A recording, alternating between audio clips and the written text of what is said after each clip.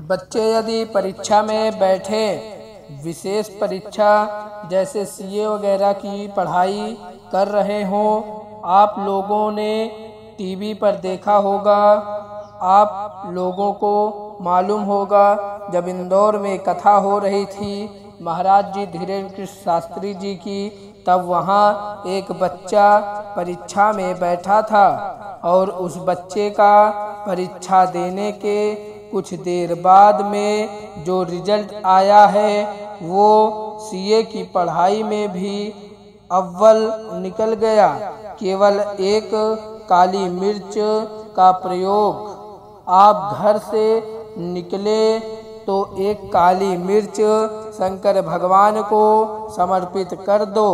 शिवलिंग पर कितना बस एक काली मिर्ची बाबा जी को समर्पित कर दो। और एक काली मिर्च भगवान शिव के चौखट पर रखें और अपना उल्टा पैर रख कर श्री शिवाय नमस्तुभ्यम बोलकर किसी भी परीक्षा में बैठ जाओ। आप उसमें उत्तीर्ण होंगे।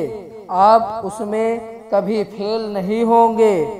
और श्री शिवाय नमस्तुभ्यम कर कर काली मिर्ची, एक शंकर पर और एक दरवाजे की चौखट पर रख दें। बस इतना ही करने से आप परीक्षा में टॉप करेंगे।